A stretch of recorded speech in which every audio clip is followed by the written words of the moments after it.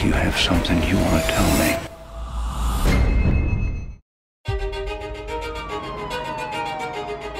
Harlan started out with a Rusty Smith Corona and built himself into one of the best selling mystery writers of all time. 30 languages, over 80 million copies sold.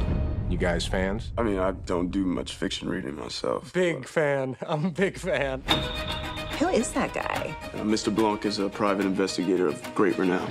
I read a tweet about a New Yorker article about you. You're famous. The night of his demise, the family had gathered to celebrate your father's 85th birthday. And your son, Ransom, did he attend as well? Yes, but he left early. I think Linda was upset. Walt would get a little Irish courage in him. He'd get into it with Harlan. What? Richard said what?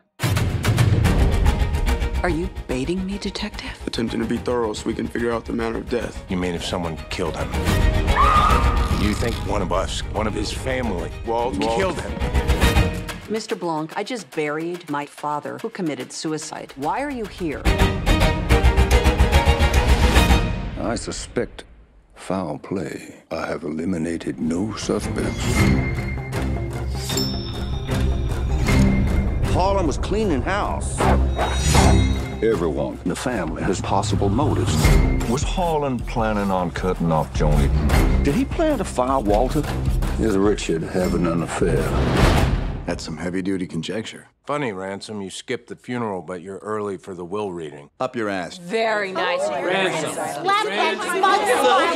gotta do this more often. The family is truly desperate. When people get desperate, the knives come out. This is a twisted web.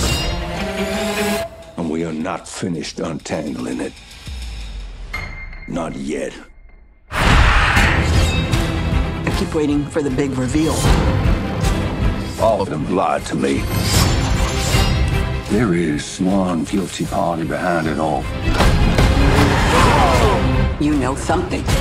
Spill it. Oh my God. Tell me what happened to my grandfather.